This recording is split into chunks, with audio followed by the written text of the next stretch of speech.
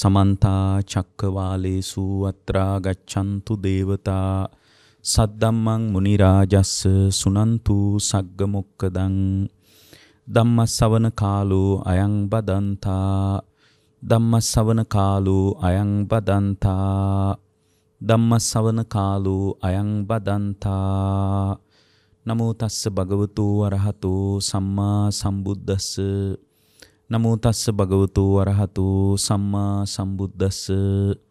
නමෝ තස්ස භගවතු වරහතු සම්මා සම්බුද්දස්ස. ඒ අපගේ ශාස්ත්‍රු සම්මා සම්බුදුරජාණන් වහන්සේට අපගේ নমස්කාරය වේවා.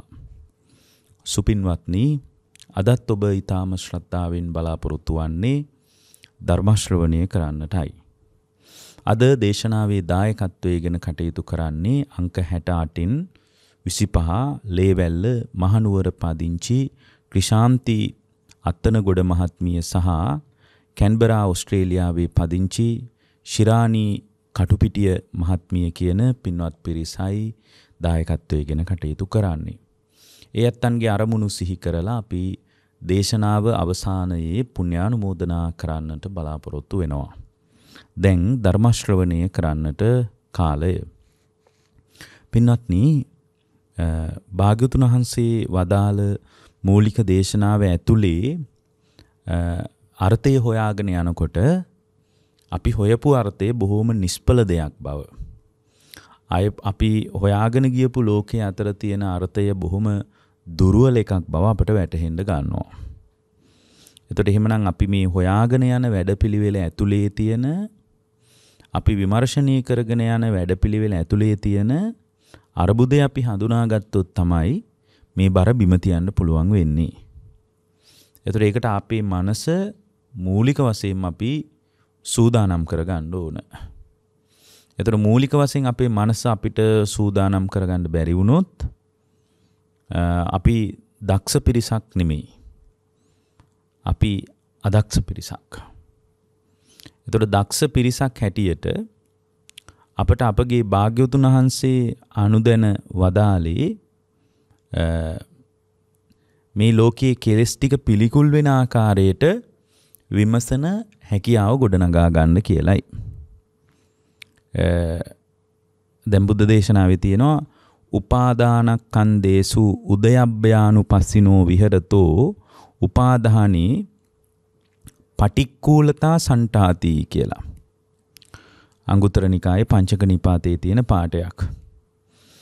Tamanගේම ස්කන්ධ ටික අනිත්‍ය වශයෙන් බලන හැකියාව අපි තුල තිබුණොත් අපේ මේ ස්කන්ධ ටික අපිට අපි තුලම අනිත්‍ය වශයෙන් බලන හැකියාව තිබුණොත් ඒ හැකියාව ඇතුලේ පින්වත්නි උපාදානයේ නම් වූ කෙලෙසේ පිළිකුල් වෙලා යනවා.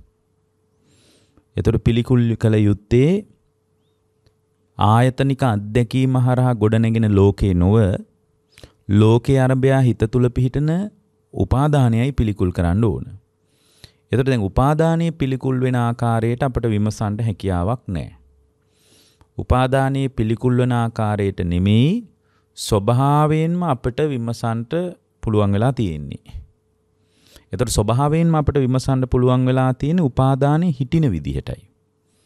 එතකොට මේ උපාදානයේ හිටින විදිහට අපේ අභ්‍යන්තරය විමසන මට්ටමක් අපිට තියෙන නිසාම අපිට අර උපාදානයේ පිළිකුල් වෙන්නේ උපාදානයේ බොහොම වටිනා දෙයක් විදියට සාමාන්‍ය ලෝකයේ කෙනෙකුට වැටහෙන්න පුළුවන්. එතකොට සාමාන්‍ය ලෝකයේ කෙනෙකුට උපාදානයේ බොහොම අර්ථ සහිත දෙයක් විදියට වැටහුණාට පින්වත්නි ධර්මයෙන් බලනකොට අපිට තේරෙනවා උපාදානක් කන්දේසු උදයබ්බයානුපස්සී විහෙරතෝ. යම් කිසි ආකාරයක උපාදානස්කන්ධය උදයවැය වශයෙන් බලන්න පුළුවන්කමක් තියෙනවා නම් ඒ කියන්නේ විදර්ශනා ඥාණයෙන් බලන්න පුළුවන්කමක් තියෙනවා නම් උපාදානී පටික්කුලතා සන්ටාති. එතකොට එයාට බඳු ස්වභාවයක් ඇතුලේ තමයි උපාදානය පිළිකුල් වෙන්න පටන් ගන්නෙ. එතකොට ඔන්න ඕකම තමයි පින්වත්නි ධර්මයේ ඇතුලේ ධර්මයේ ඇතුලේ පෙන්වන්නේ ආහාරයේ පටික්කුල සංඥා කියලා. එතුර ආහාරය පටික්කුල සංඥා කියනකොට ආහාරය පිළිකුල බලනවා කියලා. හැබැයි දැන් ආහාරයේ පිළිකුල මෙතන ආහාරය කියලා කියන්නේ මොකද? උපාදානයේට. උපාදානයේ ආහාරය කරගෙන තමයි නැවත නැවත ස්කන්ධ හටගන්නේ. ওই ධර්මයේ නිතරම තියෙනවා මේ ආහාරයේ පටික්කුල සංඥාව වඩන්න කියලා. ආහාරයේ පිළිකුල් සංඥාව වඩන්න කියලා. එතකොට ආහාරයේ පිළිකුල් සංඥාව කියනකොට පිළිකුල කියලා කියන්නේ පින්වත්නි මේ බත් මාළු වල පිළිකුල් බවක් නෙමෙයි. එළවලු වල පිළිකුල් බවක් නෙමෙයි. ආහාර පානවල පිළිකුල් බවක් නෙමෙයි.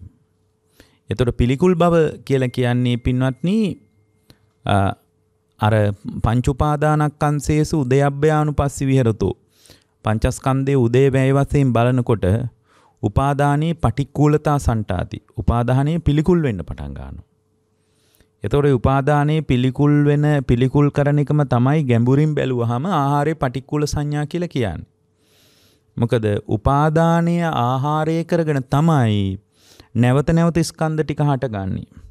නැවත නැවත ආයතන ටික හටගන්නේ. නැවත නැවත උපන් සත්‍යය පවතින්නේ. නැවත නැවත නූපන් සත්‍යය උපදින්නේ. මේ ඔක්කොම හේතු වෙන්නේ කුමක්ද?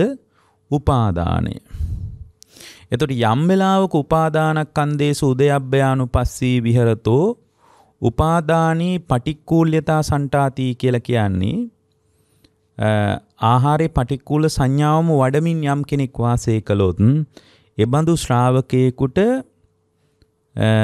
සත්වපුද්ගල භාවයේ මත ගොඩනැගෙන පීඩනය සම්පූර්ණයෙන් නැති වෙලා යනවා. ඒක නැති කරගන්න තමයි අපට භාග්‍යතුන් වහන්සේ සතිපට්ඨානෙ මතු කොට වදාළේ. දැන් අද මේ පින්නතුන් මාතෘකා විදියට මේ සතිපට්ඨානය එදිනෙදා ජීවිතවලදී අනුගමනය කරන්න පුළුවන් විදිහේ සරලව පැහැදිලි කරන්න කියලා කියනවා. එතකොට මේ සිහිය පිහිටුවා ගැනීමෙන් තොරව මේ කිසිම දෙයක දියුණුවක් කරා යන්න බෑ. ලෝකේ සිහිය පිහිටුවා ගැනීම තරම් ප්‍රබල දෙයක් නෑ. සිහිය පිහිටුවා ගැනීම තරම් ප්‍රබල දෙයක් ලෝකේ නෑ.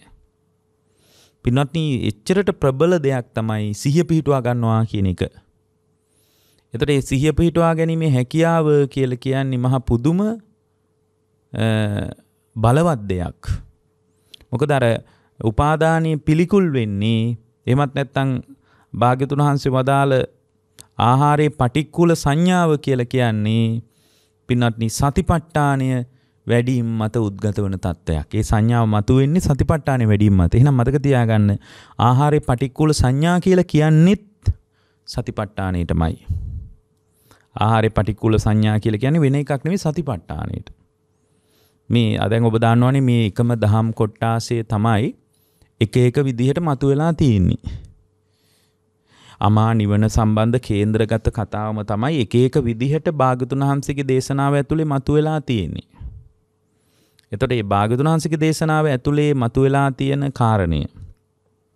බුද්ධ දේශනාව ඇතුලේ මතුවෙලා තියෙන කාරණය ගැඹුරින් විමර්ශනය කරලා බලනකොට අපට පේනවා දෙයක්. මොකද්ද? ඒ අමා නිවන සම්බන්ධ කේන්ද්‍රීය කතාවට පැහැදිලි වෙච්ච අර්ථ දැක්වීමක් තමයි ආහාරය පටික්කුල සංඥා කියලා කියන්නේ. නමුත් අපි හිතාගෙන ඉන්නේ මේ බොංචි කව්පියාල බතල විදියට හාල් බත් විදියට අපි ගන්න ඒවා පිළිකුල් වශයෙන් බලනවා කියන එක. ඒකත් බලන්න ඕන. නැත්තම් ඒ පුද්ගලයාට පරිහරණය කරන දේවල් නිසා කෙලෙසුන්ගෙන් යට වෙන්න පුළුවන් එයාව. නමුත් මෙතන පින්වත්නි ගැඹුරින් බැලුවහම අපට තේරෙන දෙයක් තමයි ආහාරයේ පටික්කුල සංඥා කියලා කියන්නේ ආහාරයේ පිළිකුල බලනවා කියන සතිපට්ඨානෙම වඩනවා කියන එක. හේතුව පින්වත්නි ආහාරය තමයි උපාදානය. ආහාරය තමයි උපාදානය. උපාදානයේ මතින්නේ භව සංස්කාරات ගොඩ නැගෙන්නේ. එහෙනම් භව සංස්කාර වලටත් ආහාරය උපාදානය. උපාදානය තමයි ආහාරය. උපාදානයේ ආහාරය වුණාට පස්සේ තමයි උපන් සත්‍යයා පවතින්නේ. උපාදානය ආහාරය කරගෙන. නූපන් සත්වයා උපදින්නේ උපාදානය ආහාරය කරගෙන. උපන් සත්‍යයාගේ පැවැත්ම පිණිසත් නූපන් සත්‍යගේ ඉපදීම පිණිසත් හේතු වෙන්නේ උපාදානයම නම් සත්වයාගේ ප්‍රධාන ආහාරය බත්මාලුපිනි නෙමෙයි. අපේ ආහාර බත්මාලුපිනි වුණාට පින්වත්නි දැන් අපි වගේම බත්මාලුපිනි ඔක්කොම සත්තු කන්නේ නෑනේ. දැන් නිරේ උපන් නිරසත්වයේ ආහාර රටාව ඊටාම දුක්ඛිතයි. പ്രേත ලෝකයේ උපන් සත්වයන් සමහර විට සෙම සොටු ආග්‍රහණය කරන්නේ, මල මූත්‍රා ආග්‍රහණය කරන්නේ, විවිධ සුවඳ වර්ග ආග්‍රහණය කරන්නේ. ඔය වගේ പ്രേත ලෝකෙ ඉන්න අයගේ ස්වභාවය වෙනයි. තිරිසන් ලෝකයේ ගත්තත් බලන්නකෝ සමහර සත්තු ඉන්නවා. මල මූත්‍රා පවා ආහාරය කරන. ඒ වගේම පිළිණු වෙච්ච දේවල් පවා ආහාරය කරන. තනකොළ වගේ දේවල් ශාකමය වස්යෙන් කොටස් ආහාරයට ගන්න. ඊට පස්සේ මාංශ ආහාරයට ගන්න. මෙන්න මේ විදියට ආහාරේ විවිධත්වයක් තියෙන්නේ. එතකොට මේ මේ විවිධත්වයෙන් යුතු ආහාර අනිත්‍ය වශයෙන් බලනවා කියන එක නෙමෙයි. ආහාර පිළිකුල් කරනවා නෙමෙයි. ඉතින් එහෙම ආහාර පිළිකුල් කරලා කියලා යාට ලොකු අවබෝධයක් කරා යන්නත් බෑ. හැබැයි බුද්ධ දේශනාවේ ප්‍රධාන සංඥාවක් හැටියට තමයි මේ தત્ත්වය මතු කරලා පෙන්වන්නේ. ආහාරයේ පටික්කුල සංඥාව. ප්‍රධාන ධාරාවේ ආහාරයක් හැටියට භාග්‍යවතුන් වහන්සේ අපට අනුදැන වදාලා. ඒ කියන්නේ ප්‍රධාන ධාරාවේ අවබෝධය කරා යන ශ්‍රාවකයෙකුගේ විමර්ශනයක් හැටියට වදාලා. එහෙනම් මේ ආහාරයේ පටික්කුල සංඥා කියලා කියන්නේ උපාදානීය පිළිකුල් කරනවා කියන එකයි. එතර උපාදානය පිළිකුල් කරන්න මට්ටමට එන්ට උපාදානී පිළිකුල් වෙන මට්ටමට එන්ට නම් විකල්පයක් තියෙනවා එකට එන්න තැනක් තියෙන මොකක්ද. උපාදානක් කන්දේසු උදයභ්‍යානු පස්සිනෝ විහරතෝ. උපාදානස්කන්දය උදය වැය වසයෙන්ම විමස විමසා බලනකොට. ඇතිවීමයි නැතිවීමයි සමුදයයි නිරෝධයයිම නාමරූප ධර්මයන්ගේ බලබලා ඉන්නකොට. එහෙම බලබලා ඉන්නකොට පින්වත්නි ඒ බලබලා ඉන්න ශ්‍රාවකයාගේ හිත තුළ උපාදානයේ පිළිකුල් වෙන්න පටන් ගන්නවා. ඒතර උපාදානයේ සත්‍යයේ ආහාරය නිසා පොදු සත්‍යයේ ආහාරය නිසා උපාදානයේ පිළිකුල් කොට බලනකොට පින්වත්නි නැවත නැවත ස්කන්ධයන් හට ගැනීම පිණිස උපාදානයේ දුර්වල වෙන්න පටන් ගන්නවා. එතකොට මේ උපාදානයේ දුර්වල වෙනකොට උපාදානයේ ආහාරය කරගෙන නැවත නැවත ස්කන්ධයන් ලෝකේ හටගන්නේ නැහැ. හටගන්න එක දුර්වල වෙලා සම්පූර්ණයෙන් හට ගැනීම නිරුද්ධ වෙලාම යනවා. එහෙනම් මේ මතක තියාගන්න පින්වත්නි ආහාරයේ පටික්කුල සංඥා කියලා කියන්නේ බත්මාලුපිනි අනිත්‍යයි පිළිකුල් කියලා බලනවා නෙමෙයි උපාදානයේ පිළිකුල් කියලා බලනවා පොදුවේ ගත්තොත් ආහාරයේ පටික්කුල සංඥාව කියලා කියන්නේ සතිපට්ඨානයටමයි වෙන මොකටවත් නෙමෙයි. සතිපට්ඨානෙටමයි ඒක කියන්නේ. එතකොට සතිපට්ඨානයේ ඇතුලේ මූලික වශයෙන් ආහාරයත් පිළිකුල් වෙනවා. අර බත්මාලු පිණිත් පිළිකුල් වෙනවා. දැන් බලන්නකෝ බුද්ධ දේශනාවේ තියෙනවා මහණෙනි මේ වැළඳූ දානයේ අග්‍රම ඵලෙ මොකක්ද කියලා අහනවා. වළඳපු දාන ටිකක තියෙන අග්‍රම ඵලය මොකක්ද? මොකද පින්වත්නි වැළඳපු දානයේ තියෙන අග්‍ර ඵලය? වළඳපු දානයේ තියෙන අග්‍රම ඵලය තමයි මලමූත්‍රා පහ කිරීම. තරුපන්තියේ හෝටලයකින් කෑවත් අග්‍රම ඵලයේ මලමූත්‍රා ටික. එතකොට වැළඳූ දානයේ තියෙන්නේ මලමූත්‍රා පහ කිරීමේ විතර විතරයි. එහෙනම් ආහාරයේ ඵලය එච්චරයි. ආහාරවල ඵලයේ අවබෝධය එහෙම නෙමෙයි. නමුත් ආහාරවල ඵලයක් අවබෝධය කියලා හිතුවොත් අපිට වරදිනවා. ආහාරවල ඵලයේ අවබෝධයක් කියලා හිතුවොත් වරදිනවා. මොකද ලංකාවේ මේ වෙනකොට ආහාරවල ඵලයක් විදියට තමයි කෑමේ ප්‍රතිලාභයක් විදියට තමයි නිකං මාර්ගඵල ලැබෙන්නේ සෝවාන් වෙන්න පුළුවන් වෙන්නේ වගේ කියන ගිහි පැවිදි දෙපාර්ශ්වෙම ඉන්නවා. ආහාරයෙන් ඵලයක් ලැබෙනවා කියලා හිතන. නමුත් භාගතුන් වහන්සේ දේශනා කළේ කොහොමද? වැළඳූ දානයේ මල මූත්‍රා පහ කිරීම පමණයි අග්‍රඵලය. ආහාරයේ ඵලයේ පමණයි. එහෙනම් මල මූත්‍රා පහ කිරීමේ තත්වයක් නම් ආහාරයේ අග්‍රඵලය ආහාරයේ පටික්කුල සංඥා කියන එක මේ බත්මාලු පිණි ටික වළඳන එළවලු ටික මේවා පිළිකුල් කොට බලන එකම නෙමෙයි. ඒවත් පිළිකුල් කරලා බලන්න ඕනේ. ඇයි? එතකොට එතන පිළිකුල් කරලා බලන්න ඕන ආහාරයේ තියෙන සතර මහා ධාතුවක් නිසා මේ සතර මහා ධාතු හැම වෙලාවකම සතර මහා ධාතු මත යැපෙනවා. එතකොට මේ අභ්‍යන්තර සතර මහා ධාතුව බාහිර සතර මහා ධාතුව මත යැපෙනවා.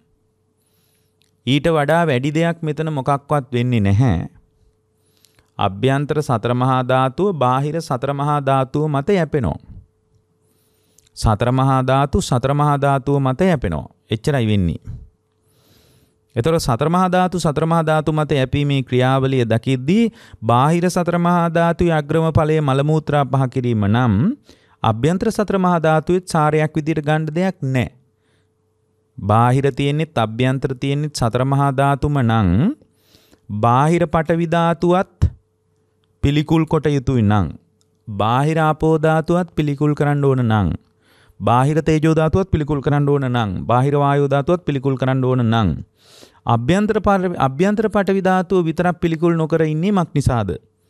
අභ්‍යන්තර ආපෝ ධාතුව, අභ්‍යන්තර තේජෝ ධාතුව, අභ්‍යන්තර වායෝ ධාතුව මෙන්න මේ අභ්‍යන්තර සතර මහා ධාතු වල තියෙන සාරය මොකද්ද? ඒකෙත් ඔය කියන විදිහේ මුකුත් සාරයක් ඇත්තේ නැහැ. අභ්‍යන්තර සතර මහා ධාතුයි බාහිර සතර මහා ධාතුයි ඔක්කොම සතර මහා ධාතු විදිහට සමානයි. ඔක්කොම පිළිකුල් කරන්න ඕන දේවල්. එතකොට බාහිර සතර මහා ධාතුව පොඩි වෙල දැන් බත්තු වෙලා පොඩි වෙලාවකින් පිලුණු වෙලා යනවා. එතකොට බාහිර සතර මහා ධාතුවේ බාහිර සතර මහා ධාතුවේ සාරේ පමණයි. බාහිර සතර මහා ධාතුවේ සාරේ පමණයි. එහෙනම් ඒ බත් වලින් යැපෙන අභ්‍යන්තර සතර මහා ධාතුවත් ඒ වගේමයි. ඇයි බත් වලින් මේක හැදිලා තියෙන්නේ? බත්මාලු පිනිවල ස්වභාවය බත්මාලු පිනිවල ස්වභාවය අනිත්‍යතාවේ නම් අභ්‍යන්තර සතර මහා ධාතුවේ ස්වභාවය අභ්‍යන්තර සතර මහා ධාතුන්ගේ ස්වභාවය බාහිර සතර මහා ධාතුන්ගේ ස්වභාවයමයි කියලා බලලා අර තමන්ගේ රූපය අනිත්‍ය වශයෙන් පිළිකුල් කටයුතු වශයෙන් විමසන එක බැලූ බැල්මට බැලූ බැල්මට ඒක ආහාර පටිකුල සංඥාව කියන එකෙන් පේන්නේ බැලූ බැල්මට ආහාරයේ පටිකුල සංඥාව කියන්නේ මේ ආහාරය පිළිකුල් කළ යුතුයි කියන එක. ඒ කියන්නේ බත්මාලු පිළිකුල් කළ යුතුයි කියන එක. ඉතින් ඒක හරි වැළඳූ දානීය අග්‍රම ඵලයේ විදිහට භාග්‍යතුන් වහන්සේ වදාළේ කුමක්ද? මල මුත්‍රා පහ කිරීම. එතකොට ඒක පිළිකුල් කරලා බැලුවා කියලා මේ බාහිර බත්මාලු පිණි පිළිකුල් කරලා බැලුවා කියලා කවදාවත් අවබෝධය කරා යන්න බෑ. එතුර අවබෝධය කරා යන ප්‍රධාන තැනක් විදියට තමයි ආහාරයේ පටික්කුල සංඥාව භාග්‍යතුන් වහන්සේ අනුදැන වදාළේ. ආහාරයේ පිළිකුල බලන්න කියලා වදාළේ. එමනම් දැන් වැළඳූ දානයේ මල මුත්‍රා පහ කිරීම තමයි අග්‍රම ඵලය. වැළඳූ දානයක වැළඳූ දානයක මල මුත්‍රා පහ කිරීමට වඩා වැඩි දෙයක් ඇත්තේ නැහැ. එවනම් වැළඳූ දානයක සාරය එපමණයි. වැළඳූ දානයේ තියෙන සාරය එපමණයි. හැබැයි ওই විදිහට බැලුවා කියලා එයාට කවදාවත් නිවන් දකින්න බෑ. එතකොට එයා ඊළඟට දෙවෙනි පියවර විදිහට එකතු වෙන්න ඕන. මේ වළඳන දානය දානයේ තියෙන සාරයම කරගෙන තමයි මේ රූපේ නඩත්තු වෙන්නේ. මොකද්ද? බත්මාලු පිණි විදියට ගන්නේ සතර මහා ධාතුවක්. එතකොට සතර මහා ධාතුවක්මයි පෝෂණය වෙන්නේ. මොකද අභ්‍යන්තර සතර මහා ධාතුව බාහිර සතර මහා ධාතුවකින් පෝෂණය වෙනවා. බත් කනකොට මාළු පිණි කනකොට එළවලු පොළොස් සරෝමයෝ කනකොට මස්මාලු කනකොට බාහිර සතර මහා ධාතුවක් අභ්‍යන්තර සතර මහා ධාතුවක් පෝෂණය කරනවා. එතකොට අභ්‍යන්තර සතර මහා ධාතුවක් පෝෂණය කරනවා බාහිර සතර මහා ධාතුවේ තියෙන ස්වභාවයමයි අභ්‍යන්තර සතර මහා ධාතුවේ තියෙන්නේ. මොකක්වත් වෙනසක් ඇත්තේ නැහැ. එතන අභ්‍යන්තර සතර මහා ධාතුවට මම කියලා කියනවා බත්මාලු පිනිවලට මම කියලා කියන්නේ. හැබැයි බත්මාලු පිනිවලින් තමයි මම කියලා හිතාගෙන ඉන්න මේ රූපේ හැදිලා තියෙන්නේ. මේ රූපේ ගොඩනැගිලා තියෙන්නේ. එතකොට ආහාරයේ පටික්කුල සංඥා කියලා කියන්නේ ඕන දෙවනි පියවර විදියට යා බලන්න ඕන කොහොමද මේ අභ්‍යන්තර සතර මහා ධාතුවක් බාහිර සතර මහා ධාතුවකින් පෝෂණය වෙනව නඩත්තු කෙරෙනවා. අභ්‍යන්තර සතර මහා ධාතුවේ ස්වභාවය ආහාරයේ අග්‍රම ඵලයේ මල මුත්‍රා පහ කිරීම නම් පිළිකුල් කටයුතු ස්වභාවයක් නම් ඒ පිළිකුල් කටයුතු ස්වභාවයෙන් සැකස් වෙන ශරීරය වර්ණිත ස්වභාවයක් වෙන්න බෑ වර්ණනා කළ යුතු ස්වභාවයක් වෙන්න බෑ අගය කළ යුතු ස්වභාවයක් වෙන්න බෑ කියලා ඔන්න ඕක දෙවනි පියවරට ඒ ශ්‍රාවකයා එන්න ඕන. ඊට පස්සේ ආහාරයේ පටික්කුල සංඥා කියලා කියන්නේ මේ පංචස්කන්ධයේ උපාදානයමයි. මොකද උපා බුද්ධ දේශනාව කියන උපාදානය පිළිකුල් කරලා බැලුවොත් උපාදානයේ පිළිකුල් කරලා බැලුවොත් ඒ උපාදානයේ පිළිබඳ පිළිකුල් සංඥාව වැඩනොත් ඒකත් ආහාරයේ පටික්කුල සංඥාවම තමයි. ඇයි? උපන් සත්‍යයගේ පැවැත්මත් නූපන් සත්‍යයගේ ඉපදීමත් පදනම් වෙන්නේ පින්වත් උපාදානයේ මත. උපන් සත්‍යයා පවතින්නෙත් නූපන් සත්‍යයා උපදින්නෙත් උපාදානයේ මත. එන සත්‍යයාගේ පොදු ආහාරය මොකද්ද? සත්‍යයාගේ පොදු ආහාරය මොකද්ද? සත්‍යයාගේ පොදු ආහාරය තමයි පින්වත්නි උපාදානය. එතකොට උපාදානයේ පිළිකුල් කියලා බලන්න පුළුවන් දෝගොල්ලන්ට. දැන් උපාදානයේ පිළිකුල් වෙනවද? නෑනේ. උපාදානය හොඳ දෙයක් විදියටයි පේන්නේ. මූලික ධර්මයක් නැති කෙනෙකුට හිතෙන්නේ උපාදානය බොහොම හොඳ දෙයක් විදිහට. උපාදානය අගය කළ යුතු දෙයක් විදිහට. උපාදානයේ වනාහි වර්ණනා කළ යුතු දෙයක් විදිහටයි සාමාන්‍ය ලෝකයේ කෙනෙකුට පේන්නේ. එතකොට සාමාන්‍ය ලෝකයේ කෙනෙකුට උපාදාන එහෙම වර්ණනා කරන්නට ප්‍රශංසා කරන්නට පුළුවන් දෙයක් විදියට ඕගොල්ලන්ට පෙනුනට සාමාන්‍ය ලෝකයේ කෙනෙකුට උපාදානයේ බඳු ආකාරයකින් පෙනුනට නමුත් බුද්ධ දේශනාව ඇතුරේ බලනකොට පින්වත්නි උපාදානයේ පිළිකුල් කළ යුතු දෙයක්. ඇයි? උපන් සත්‍යයේ පැවැත්මත් නූපන් සත්‍යයේ ඉපදීමත් මේ මේ ජාතිය පහළ වෙන්නේ උපාදානය ඇසුරු කරගෙනමයි. එතකොට උපාදානය ඇසුරු කරගෙනම නම් පහළ වෙන්නේ සත්‍යයාගේ පැවැත්ම කියන්නේ පිළිකුල් කළ යුතු දෙයක් විදිහටයි ධර්මයේ පෙන්වන්නේ. එතකොට ඒ සත්‍යයාගේ පැවැත්ම පිළිකුල් කළ යුතු වන්නේ මේකේ ආස්වාදයක් නැති නිසා නෙමෙයි ආස්වාදේ බොහොම පොඩ්ඩයි ආදීනු ගොඩාක් තියෙනවා. අනිත්‍ය දුක අනාත්මය මත පිහිටි ලෝකයක් නিত্য සුඛාත්ම වශයෙන් උපාදානයේ පිළිකුල් කොට බරන්න බැරි වෙච්ච නිසා ඕගොල්ලෝ හිතාගෙන ඉන්නවා හිම අල්ලගෙන ඉන්නවා. උපාදානය පිළිකුල් කරලා බලන්න බැරි වෙච්ච නිසා. එතකොට උපාදානී පටික්කූල්‍යතා සන්ටාති. උපාදානය පිළිකුල් වශයෙන් බලන හැකියාව යම් කෙනෙකුට තිබුණොත් ඒ හැකියාව බොහොම ඉහළ වටිනා දෙයක්. සම්මාදිට්ඨික ශ්‍රාවකයෙකුගේ ප්‍රතිලාභයක්. සම්මාදිට්ඨිකත්වයේ තුලින් ලැබෙන ප්‍රතිලාභයක්. එතකොට සම්මාදිට්ඨිකත්වයේ තුලින් ලැබෙන ප්‍රතිලාභයක් නම් ඒ ප්‍රතිලාභේ කරා එකතු වෙන්න කැමති ශ්‍රාවකෙක් විසින් මොකද්ද කරන්න ඕන? කරන්න ඕන වෙන මොකක්වත් මේ උපාදානක් කන්දේසු උදයබ්බයානුපස්සිනෝ විහෙරතෝ උපාදානී පටික්කුල්ලිතා සන්ටාති. උපාදානස්කන්දයේ උදයබ්බයානුපස්සී විහරණයකට එකතු වෙන්න ඕන. උපාදානය උදයබ්බයානුපස්සී විහරණයකට එකතු වුණොත් තමයි ඒ ශ්‍රාවකයාට උපාදානයේ පටික්කුල්්‍යතා සන්ටාති.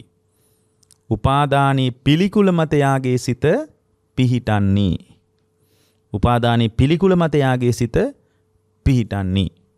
එතකොට ඒක පිහිටන්න නම් මොකද කරන්න ඕන? උපාදානස්කන්ධේසු උදයබ්බයානුපස්සී විහෙරතෝ.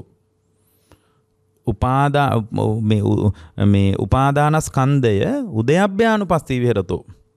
පංච උපාදානස්කන්ධයේ උදයබ්බයානුපස්සී විහරණයකට එකතු වෙනකොට තමයි උපාදානයේ පිළිකුල් සහගතයි නේද කියන වැටහීම එන්නේ. එතකොට පංච උපාදානස්කන්ධය උදයබ්බයානුපස්සී විහරණයකට එන ක්‍රමය තමයි සම්පූර්ණයෙන් ස්කන්ධ වෙන වෙනම වෙන වෙනම ලිහලා වෙන වෙනම වෙන වෙනම ස්කන්ධයන්ගේ ස්වરૂපය සහ ස්කන්ධයන්ගේ ස්වභාවය තේරුම් අරගෙන ඒවා වෙන වෙනම ලිහලා ඒ වෙන වෙනම ලියාගත්ත තැනක පින්වත්නි ඒ ශ්‍රාවකයාට ස්කන්ධයන් ඇති වෙන නැති වෙන විදිය වෙන වෙනම. රූපේ ඇති වෙන නැති වෙන විදිය වේදනාව ඇති වෙන නැති වෙන විදිය සංඥාව ඇති වෙන නැති වෙන විදිය සංස්කාර ඇති වෙන නැති වෙන විදිය විඥානය ඇති වෙන නැති වෙන විදිය නැති. මේ මේ විදියට ස්කන්ධ ටික ඇති වෙන නැති වෙන විදිය ඒ පුද්ගලයාට වෙන වෙනම බලන හැකියාව තියෙන්න ඕන. කොහොමද? රූපස්කන්ධයමයයි රූපස්කන්ධයේ සමුදයමයයි රූපස්කන්ධයේ නිරෝධයමයයි රූපස්කන්දේ නිරුද්ධ කරන ප්‍රතිපත්තිය මෙයයි රූපස්කන්දේ ආස්වාදය මෙයයි රූපස්කන්දේ ආදීනවේ මෙයයි කියලා දකිනකොට තමයි ඒ පුද්ගලයාට රූපස්කන්දය පිළිබඳව පවතින උපාදානයේ පිළිකුල් සහගතයි කියලා වැටහෙන්නේ. පිළිකුල් සහගතයි කියලා බලනකොට ඒ උපාදානයෙන්ම සිත නිදහස් කරගන්න එකට අපි කියනවා රූපස්කන්ධයේ නිස්සරණයට පැමුණුනා කියලා. නිස්සරණේ එහෙනම් මේ නිස්සරණේ කියන එක එන්නේ පින්වත්නි උපාදානය පිළිකුල් කර බැලීමෙන්මයි.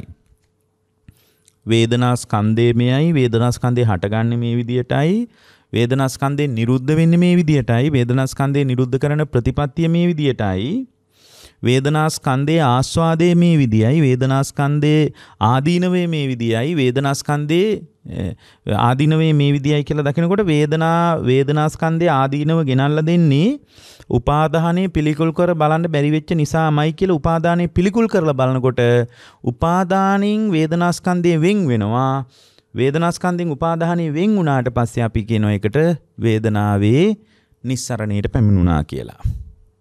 වේදනාවේ නිස්සරණයට පැමිණුණා කියලා.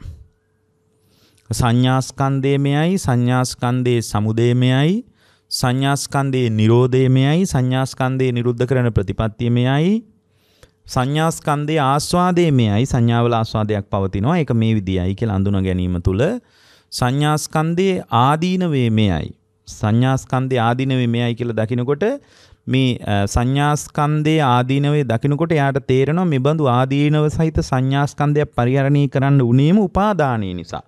ඒතර උපාදානයේමයි මම පිළිකුල් කළ බැරිය යුත්තේයි සංඥාස්කන්ධයේ ආදීනවේමයයි. ආදීනව සහිතයි.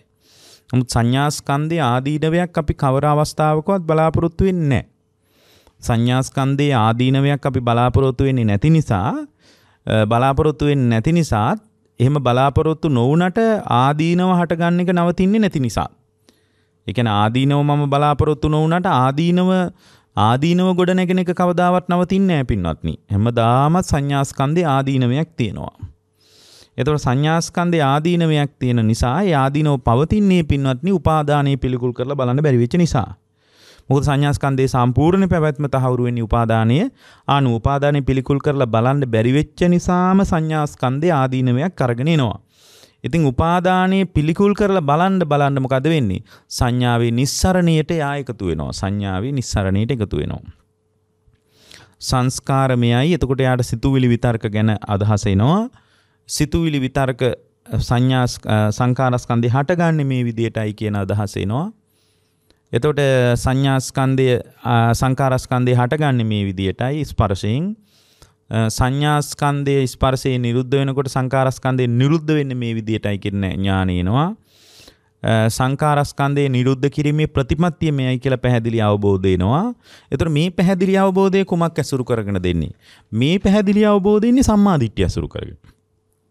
එතකොට සම්මාදිට්ඨිය නැති ශ්‍රාවකයෙකුට මේ විදියට පැති හතකින් විමර්ශනය කරගෙන එයාට උපාදානයේ පටික්කුල්ලතා සන්ටාති කියන තැනකට එන්න බෑ. ඒ කියන්නේ ආහාරයේ පටික්කුල සංඥාව කියන සම්පූර්ණ ධාරාව වඩා ගන්න බෑ.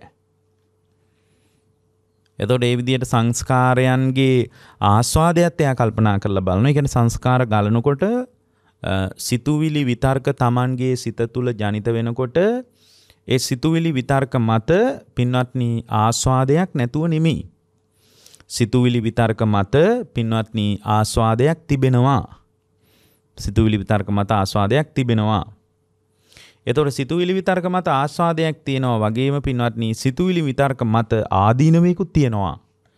සිතුවිලි ආස්වාදයේ ගෙනත් දෙන සිතුවිලි විතර්ක රූප සංචේතනා, ශබ්ද සංචේතනා, ගන්ධ සංචේතනා, රස සංචේතනා, පොට්ටබ්බ සංචේතනා, ධම්ම සංචේතනා ආදී සංචේතනාවන් වෙනත් ස්වභාවයකට පත්වෙනවා විපරිනාම ස්වභාවයකට පත්වෙනවා.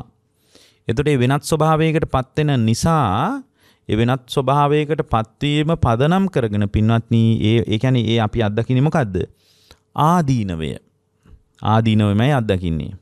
එතොට ආදීනවේ අත්දකින්න අත්දකින්ට පින්වත්නී ඒ ශ්‍රාවකයාගේ සිත ආදීනවේ දකිනකොට යාට පේන්නේ ආදීනවේ හැටියට මොකක්ද මේ උපාදානයේ පටික්කුල්ලතා සන්ටාත උපාදානයේ පිළිකුල් වශයෙන් විමසා ගන්න බැරි වෙච්ච නිසා තමයි මේ ප්‍රශ්නේ ගොඩනගන්නේ කියලා එයාට තේරෙනවා. එහෙම තේරෙනකොට උපාදානයේ නැතුව ඒ පුද්ගලයා තුළ ගොඩනැගෙන සංචේතනා ඇතිවෙන නැතිවෙන විදිය බලන්න පුළුවන් නම් උදයබ්බයානු පස්සිනෝ විහෙරතෝ.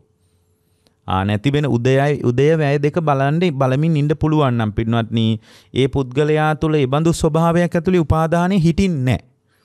උපාදානයේ හිටින උපාදානෙම පිළිකුල් කළ යුතු දෙයක් විදියටයි බලන්නේ. ඇයි? උපාදානයේ පිළිකුල් වශයෙන් බලගන්න බැරි වෙච්ච නිසා තමයි උදයබ්බයානුපස්සී විහරණයක් ඇතුලේ උදය වය කියන කාරණා දෙක ඇතුලේ මට පිහිටලා ඉන්න සිද්ධ වුණේ. උදය වය කියන කාරණා දෙක ඇති වෙනකොට ඒක අල්ලගෙන ඉන්න උනේ මට මේ උපාදානයේ පිළිකුල් කරලා බලන්න බැරි වෙච්ච නිසා. එතර උපාදානයේ පිළිකුල් කරලා බලනකොට පින්වත්නි ඒ පිළිකුල් කරලා බැලීමේ ප්‍රතිඵලයක් හැටියට ඒ පිළිකුල් කරලා බලීමේ ප්‍රතිලාභයක් හැටියට එයාට මොකද්ද වෙන්නේ?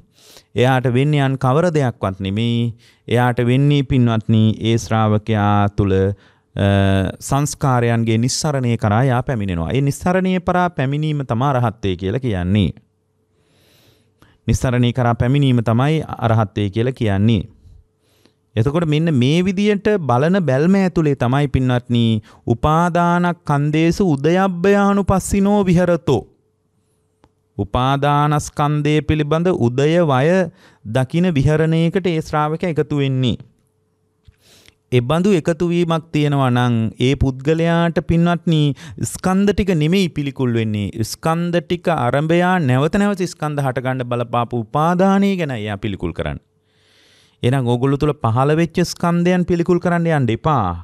ස්කන්ධ ටික තුල යථාවබෝධය කරා එකතු වෙන්න ස්කන්ධයන් සම්බන්ධ උපාදානය පිළිකුල් කරන්න.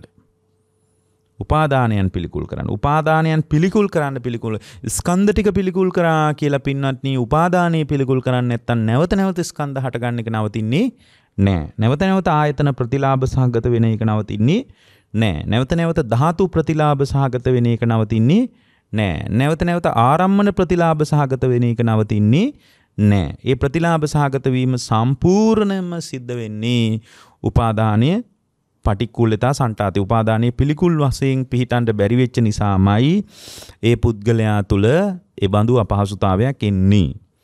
එතකොට මේ විදිහට විඥානස්කන්ධය පිළිබඳවත් අනිවාර්යයෙන් මෙයා විමසන්න ඕන මොකද පින්වත්නි මේ රූප උපාදානය වේදනා උපාදානය සංඥා උපාදානය සංකාර උපාදානය කියන උපාදානය ග්‍රහණය කරගන විඤ්ඥානස්කන්දය. ඒ ඇන විඤ්ඥානස්කන්දය උපාදානය මතින් රූපය මත පිහිටා තමයි. උපාදානයේ මතින් වේදනාව මත පිහිටා තමයි. උපාදානයේ මතින් සංඥාව මත විඤ්ඥානය පිහිටා තමයි. උපාදානයේ මතින් සංස්කාර මත විඤ්ඥානය පිහිටීමෙන් තමයි නැවත නැවත විඤ්ඥානය ප්‍රතිලාභ සහගත වීම පිණිස අවකාශය හදාගන්නේ. නැවත නැවත විඤ්ඥානයට ප්‍රතිලාභ සහගත වීම පිණිස ඉඩහසර අවකාශය වේපුල්ලත්වේ හදාගන්න විපුල වෙන්නේ. එතකොට ඒ තෘෂ්නාමාන දිට්ටි වසයෙන් විඤ්ඥානස්කන්දය තුළින් රූපය අල්ලන් නැත්තං. තෘෂ්නාමාන දිට්ටි වසයෙන් උපාදානී මතින් වේදනාව විඤ්ඥානස්කන්දය අල්ලගන්න නැත්තං. තෘෂ්නාමාන දිට්ටි වසයෙන් පින්වත්නී සංඥාස්කන්දය විඤ්ඥානී විසින් උපාදානය මතින් අල්ලගන්න නැත්තං. සංස්කාර සංස්කාර තෘෂ්නාමාන දිට්ටි වසයෙන් විඤ්ඥානස්කන්දය විසින් උපාදානයේ පදනම් කරගෙන අල්ලගන්න ඇත්තං. උපාදානයේ පදනම් කරගෙන අල්ලගන්න ඇත්තං කවරක්ද රූපවේදනා සංඥා සංකාර. අල්ලගන්න ඇත්තං. පින්නත්නී කවරාකාරයකවත් රූපස්කන්ධයක් කවරාකාරයකවත් වේදනාස්කන්ධයක් කවරාකාරයකවත් සංඥාස්කන්ධයක් කවරාකාරයකවත් සංස්කාරස්කන්ධයක් කවරාකාරයකවත් විඤ්ඥානස්කන්ධයක් නැවත නැවත අනාගතය සමුදේ වෙන්නේ නෑ. නැවත නැවත සමුදේ වෙන්නේ නෑ. ඒනම් අපි විඤ්ඥානස්කන්දය අරභයා පවතින උපාදානයත් පිළිකුල් කටයුතුයි. එතට විඤ්ඥානස්කන්දය ඇසුරු කරගෙන උපාදානය නොපවතින තැනක රූපය තෘෂ්නාමාන දිට්ටි වසින් අහු වෙන්නේ. වේදනාව තෘෂ්නාමාන දිට්ටි වසින් අහු වෙන්නේ. සංඥාව තෘෂ්නාමාන දිට්ටි වසින් අහු වෙන්නේ. සංස්කාර තෘෂ්නාමාන දිට්ටි වසින් අහු වෙන්නේ. රූපවේදනා සංඥා සංකාර තෘෂ්නාමාන දිට්ටි වසින් අහුවෙන් නැත්නම් පින්වත්නි. එහෙම අහුවෙන්නේ නැති තැනක එබඳු ආකාරයකට රූපවේදනා සංඥා සංකාර තෘෂ්ණා දෘෂ්ටි වසයෙන් අහුවෙන්නේ නැති තැනක පින්වත්නී නැවත නැවත නැවත නැවත ස්කන්ධයන් ටික උපාදානය වීම පිණිස හටගන්නේ නෑ. එතකොට මෙන්න මේ දැක්ම ඇතුලේ තමයි ඕගොල්ලන්ට විශේෂයෙන්ම විඥානස්කන්ධය කියන්නේ කුමක්ද? එතකොට උත්පත්ති ස්ථාන වශයෙන් විඥානස්කන්ධය කොහොමද? ප්‍රතිසන්දි වශයෙන් විඥානස්කන්ධය කොහොමද කියලා පුද්ගලයා තුළ ඇතිවෙන වැටහීමත්. ඒ වගේම පින්වත්නි ඒ පුද්ගලයා තුළ විඤ්ඥානස්කන්දේ සමුදේ වෙන්නේ කුමක් නිසාද නාමරූප ප්‍රත්තියෙන් නැවත නැවත සමුදේ වෙන විදිහත්. නාමරූප නිරුද්ධ වීමෙන් නාමරූප උපාදානය කරගන්න නැතුව නාමරූප ධර්මයන් නිරුද්ධ කිරීමෙන් නැවත නැවත විඤ්ඥානස්කන්දේ හටගන්නේ නැති බවත්. නාම රූපච්ඡය විඥානං කියලානේ කියන්නේ. නාම රූප ධර්මයන් මත පින්වත්නි ආස්වාදයේ අණුව බලමින් වාසය කරන තාක්කල් විතරයි නැවත විඥානස්කන්ධය හටගන්නේ. නාම රූප ධර්මයන් ආස්වාදයේ අණුව බලමින් වාසය කරනකම් විතරයි නැවත නැවත විඥානස්කන්ධයට පැවැත්මක් තහවුරු වෙන්නේ. එතකොට යම් වෙලාවක පින්වත්නි අපිට පුළුවන් නම් නාම රූප ධර්මයන් ටික නාම රූප වශයෙන්ම වටහාගෙන ඒවායේ සමුදයයි නිරෝධයයි වටහාගෙන ආදීනවානුපස්සී විහරණයකට එන්න. ආදීනවානුව බලමින් වාසය කරන්න පුළුවන් නම් නාම රූප ධර්ම ටිකම ආදීනවානුව. මොකද්ද ආදීනවානුව කියන්නේ? නාම රූප ධර්ම අනිත්‍ය වශයෙන්. නාම රූප ධර්මයන් පිළිකුල් සහගත වශයෙන් පටික්කුල්‍යතා වශයෙන්. නාම රූප ධර්මයන් වෙනත් ස්වභාවයකට පත්වෙන දෙයක් වශයෙන්. නාම රූප ධර්මයන් මම මගේ කියලා ගන්න බැරි එහෙම සාරයකින් යුක්ත දෙයක් නොවන වශයෙන් අපි තුල විමර්ශනයක් තියෙනවා නම් ඒ විමර්ශනය ඇතුලේ තමයි පින්වත්නි අපට සැබෑම සහනය සැබෑම රැකවරණය තියෙන්නේ සැබෑම පිළිසරණ තියෙන්නේ ඒ විදියට අපිට බලන්න පුළුවන් වුණොත් එහෙම නාම රූප ප්‍රත්‍යයෙන් නැවත නැවත විඥාණයට අවකාශයක් ලැබෙන්නේ නෑ ආදීනවානුපස්සී විහරණයකින් බැලීමමයි ඒකට හේතුව. ආදීනවානුව බලනවා කියලා කියන්නේ පින්වත්නි ආහාරයේ පටික්කුල සංඥාවම පාවිච්චි කරනවා කියන එකයි. බත්මාලු පිනිගැනට වඩා එහෙනම් ගැඹුරක් තියෙන වචනයක් බව අපි මේ කතාව ඉතාම හොඳින් වටහා ගන්න ඕන හොඳට තේරුම් ගන්න ඕන. ඒතර විඥානස්කන්ධේ සමුදය කියන්නේ කුමක්ද කියලා දැනගන්න ඕන. ඒක දන්නේ නැත්නම් පින්වත්නි උපාදානය පිළිකුල් කරන්න බෑ. විඥානස්කන්ධේ උපාදානය වෙනවාමයි. එයා මම මගේ මගේ ආත්මය කියලා විඥානස්කන්ධේ අල්ල ගන්නවාමයි. ඒ අල්ලා ගැනීමක් ඇතුළේමයි වාසය කරන්නේ. එතකොට යම් වෙලාවක පින්වත්නි යම් ශ්‍රාවකයෙක් තුල උපාදානස්කන්ධය රූප වේදනා සංඥා සංකාර කියන ස්කන්ධයන් තෘෂ්ණාමාන දිට්ටි වශයෙන් විඥානස්කන්ධයෙන් උපාදානයේ පදනම් කරගෙන ග්‍රහණය කරන අවස්ථාව දුර්වල කිරීමෙන් තමයි පින්වත්නි උදයබ්බයානුපස්සී විහරණයට එකතු වෙනවා කියලා කියන්නේ. එතකොට දැන් විඥානස්කන්ධය ඇති වෙන්නේ නාම රූප ධර්මයන් නිසා නාම රූප ධර්ම නිරුද්ධ වීමෙන්ම නාම රූප ධර්ම නිරුද්ධ වෙනවා කියන්නේ මොකද්ද? නාම රූප ධර්මයන් අරඹයා උපාදානය උපාදානයේ පදනම් කරගෙන බලන්නේ උපාදානයේ පිළිකුල් කර යුතු දෙයක් විදිහට බලන්නේ ඇයි? නාම රූප ධර්මයන් උදයබ්බයානුපස්සී විහරණයකින් යා ප්‍රඥාවෙන් විමසන හැකියාව. සම්මා දිට්ඨියෙන් විමසන හැකියාව තියෙනවා. උදයබ්බයානුපස්සී විහරණයකින් බලනවා. උදය වය කියන දෙක බලනවා. එතකොට ඇති වෙන නැති වෙන විදිය බලනවා නාම රූපද. එතකොට ඇති වෙන නැති වෙන විදිහ රිද්මයානුකූලව සිද්ධ වෙනවා මට ඕන විදිහට සිද්ධ වෙන්නේ මම කොච්චර කැමති වුණත් ඒවා මට ඕන විදිහට සිද්ධ වෙන්නේ නැහැ. එතකොට ඒවා මම කොච්චර කැමති වුණත් ඒවා මට ඕන විදිහට සිද්ධ වෙන්නේ නැත්නම් මම ආයනේ පදනම් කරගෙන මේ නාම රූප ධර්මයන් මත උපාදානයෙන් පිහිටලා ඉන්න එක හොඳ නැහැ. උපාදානෙ පිළිකුල් කළ උපද උපාදානයෙන් ඇලෙන බැඳෙනකම පිළිකුල් කළ යුතු දෙයක් විදිහට බලන්න ඕන. මොකද ස්වභාවයෙන්ම උපාදානෙ හිටිනවා අපි තුල. මේ ස්වභාවයෙන් උපාදානයේ හිටින නිසා තමයි විඥානස්කන්ධේ නැවත නැවත සමුදේ වෙන්නේ. එතකොට එයා තුළ විඥානස්කන්ධේ නිරුද්ධ වී යන ආකාරයට බලන්න පුළුවන්. විඥානයේ නිරෝධය කුමක්ද කියලා විමසනවා. විඥානයේ නිරෝධය කුමක්ද කියලා විමසනකොට එයාට තේරෙනවා නාම රූප නිරුද්ධ වීමෙන්ම විඥානය නිරුද්ධ වෙනවා. නාම රූප නිරුද්ධ කරනවා කියලා කියන්නේ නාම රූප අරඹය උපාදානයේ පිළිකුල් කොට බලනවා. නාම රූප ධර්මයන් අරඹය උපාදානය හිටලා තියෙන එකම තමයි නාම රූප සමුදය. නාම රූප නිරෝධය කියලා කියන්නේ උපාදානයේ පිළිකුල් වන ආකාරයට බලනවා. මේ උපාදානයේමයි නාම රූප ධර්මයන් පදනම් වෙච්ච සත්ව ප්‍රජාවගේම පොදු ආහාර සාධකය. පොදු ආහාර සාධකය. එතකොට ඒ විදිහට බලනකොට නාම රූප ධර්මයන් අරඹයා නාම රූප පත්යෙන් විඥානය හට ගන්නවා. නාම රූප නිරුද්ධ වීමෙන්ම විඥානය නිරුද්ධ වෙලා යනවා.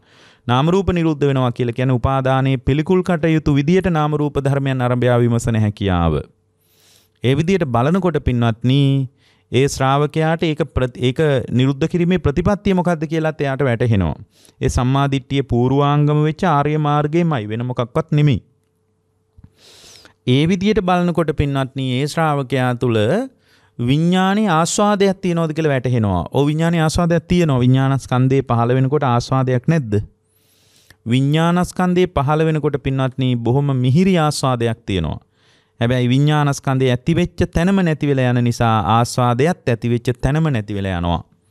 ඇතිවෙච්ච තැනම නැතිවෙලා යනකම පදනම් කරගෙන අනිත්‍යයි දුකයි විපරිනාමයි කියලා දකින හැකියාව තියාගන්නවා. මොන්න තරම් මිහිරි ආකාරයෙන් මොන්න තරම් මනාප ආකාරයෙන් විඤ්ඤාණස්කන්ධේ පහළ වුණත් ඇතිවෙච්ච තැනම නැති වෙලා යනවා. උදයබ්බයානුපස්සී විහෙරතෝ. අන්න ඒකම දකිනවා. ඒක දකිනකොට යාට තේරෙනවා විඤ්ඤාණස්කන්ධය ඇතිවි ඇතිවි නැතිවි නැතිවි යනවා. එහෙනම් ඇතිවි ඇතිවි නැතිවි නැතිවි යන විඤ්ඤාණස්කන්ධයේ ආරම්භය විඤ්ඤාණ උපාදානයක් පවත්වන එක කිසි තේරුමක් නැහැ. බැඳෙන එක කිසි තේරුමක් නැහැ. එතකොට බැඳි බැඳින තාක්කල් තමයි නැවත නැවත විඤ්ඤාණස්කන්ධය හටගන්නේ. අනාගතයේ නැවත නැවත ස්කන්ධ සමුදේ වෙන්නේ. ස්කන්ධ සමුදේ වෙනකොට ආයෙත් බැඳෙන්න පුළුවන් ස්කන්ධ හටගත්තොත් අසෘතවත් පෘථග්ජනීකේ ස්කන්ධ අරබයා යා බැඳෙනවාමයි පින්වත්නි. එයා බැඳෙන එක කාටවත් නවත්තන්න පුළුවන් කමක් නැහැ. එතකොට මෙන්න මේ විදිහේ විමර්ශනයක් තියෙනකොට ඒ පුද්ගලයාට ආස්වාදයකුත් විඤ්ඤාණස්කන්ධයේ තියෙන බව තේරෙනවා. ආදීනවයකුත් වෙනවා. මොකද්ද? අනිත්‍යයි දුකයි විපරිණාමයි විඤ්ඤාණස්කන්ධය. මට ඕන විදියට අනිත්‍ය වෙනව නෙමෙයි.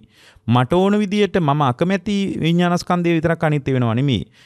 කැමැති අකමැති මනාප අමනාප වශයෙන් පහළ වෙන සියලු විඤ්ඤාණස්කන්ධ එතනම එතනම අනිත්‍ය වෙලා යනවා. විපරිණාමයට පත් වෙන. ඉතින් විපරිණාමයට පත් වෙනවා නම් මොකද්ද සාරය? වෙනත් ස්වභාවයකට පත් වෙනවා නම් මොකද්ද සාරය කියලා විමසලා බලනවා.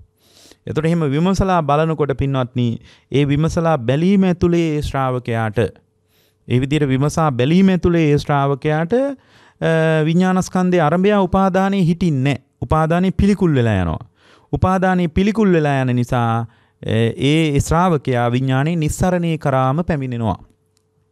ඔන්න ඔය නිස්සරණී කරා පැමිණීම තමයි බුද්ධ ශාසනයේ ශ්‍රාවකයාගේ ප්‍රධාන අර්ථය. උපාදානයේ පිළිකුල් කරලා නිස්සරණය කරා පැමිණෙන එක. උපාදානයේ පිළිකුල් කරලා නිස්සරණය කරා පැමිණීමේ කතාව පැහැදිලි කරන්න තමයි පින්වත්නි ධර්මය ඔය කතාව පැහැදිලි කරන්න තමයි මේ බුද්ධ දේශනාව හැම වෙලාවකම අපට ගැඹුරින් ඔය වචනේ තේරුම් කරන්නේ මොකද්ද? ආහාරේ පටික්කුල සංඥා. දැන් බලන්න එහෙනම් ආහාරේ පටික්කුල සංඥා කියලා කියන්නේ සතිපට්ඨානෙ වඩන එකමයි. එතකොට මොකද නිස්සරණේ කරා එන්න එකම පාර සතිපට්ඨානෙ. නිස්සරණය කරා එන්න එකම පාර තමයි සතිපට්ඨානය. එතකොට නිස්සරණය කියන එකේ තියෙන පොදු අර්ථය තමයි චන්ද්‍රාගය දුරු කරනවා කියන එක. එතකොට රූප වේදනා සංඥා සංකාර විඥාන කියන ස්කන්ධ ටික අරඹය උපාදානයෙන් චන්ද්‍රාගෙන් තෙත් කර කර අපි ඉන්නේ. උපාදානයේ පදනම් කරගෙන චන්ද්‍රාගෙන් තෙත් කර කරයි අපි ඉන්නේ. එතර උපාදානයේ පදනම් කරගෙන චන්දරාගෙන් තෙත් කර කර ඉන්න තාක්කල් පින්වත්නි අපි ස්කන්ධයන්ගේ නිස්සරණය කරා නෙමෙයි පැනවෙන්නේ. නැවත නැවත ස්කන්ධ සමුදේවන ආකාරයටයි අපි ගනුදෙනු කරන්නේ. නැවත නැවත ස්කන්ධයන් හටගන්න ආකාරයටයි අපි වැඩ කරන්නේ. නැවත නැවත ස්කන්ධ මෝරණ ආකාරයටයි අපි විමසන්නේ. ඒ විමර්ශනය කියලා කියන්නේ බුදුරජාණන් වහන්සේගේ ශ්‍රාවකයෙක්ගේ වැඩපිළිවෙල නෙමෙයි. බුදුරජාණන් වහන්සේගේ ශ්‍රාවකයෙක්ගේ ප්‍රබල වැඩපිළිවෙල නෙමෙයි. එතකොට බුදුරජාණන් වහන්සේගේ ශ්‍රාවකයෙක් විදිහට අපි ප්‍රබල වැඩපිළිවෙල කුමක්ද කියලා විමසලා බලනකොට හැම වෙලාවකම ස්කන්ධයන්ගේ Nirodhe කරා පැමිණීම. එහෙමත් නැත්නම් චන්ද්‍රාගේ දුරු කරලා නිස්සරණී කරා ලැබීම තමයි අපි කරන්න ඕන. එතකොට චන්ද්‍රාගේ දුරු කරලා නිස්සරණී කරා එන්න බෑ උපාදානයේ පිළිකුල් කරන්නේ නැතුව. එතන උපාදානයේ පටික්කුල්‍යතා සංටාතේ. උපාදානයේ පිළිකුල් කිරීම ක්‍රියාවලිය නැතුව පින්වත්නි එකට එන්න බෑ.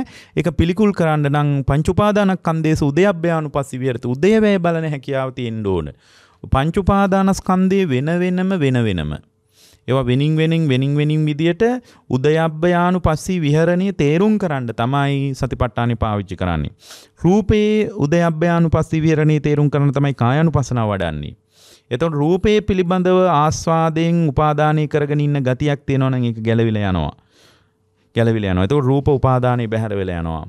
වේදනාස්කන්ධයෙන් කරන්නේ පින්වත්නි වේදනාව පිළිබඳව පුද්ගලයා තුල උපාදානය කර ගැනීම මත පිහිටා නැවත නැවත වේදනාව හටගන්න විදිහටම කටයුතු කරන ගතිය අයින් කරන්න තමයි වේදනානුපස්සනාවේ උදයබ්බයානුපස්සී විහරණය කියන්නේ. ඒකට තමයි වේදනානුපස්සනාව වඩන්නේ. වේදනාවේ උදයබ්බයානුපස්සී විහරණයේ පිණිසයි වේදනාව වේදනානුපස්සනාව වඩන්නේ.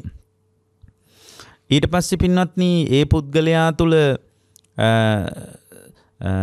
ඒ පුද්ගලයා තුළ වේදනාස්කන්ධය වේදනානුපස්සනාව දැන් බුද්ධ දේශනාවේ තියෙනවා කායානුපස්සනාව වේදනානුපස්සනාව චිත්තානුපස්සනාව.